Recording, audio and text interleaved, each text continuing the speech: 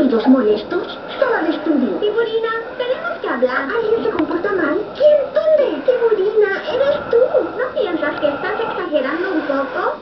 ¿Exagerando yo? Hay una razón por la cual no estabas en el listado de monitores. ¿Qué razón?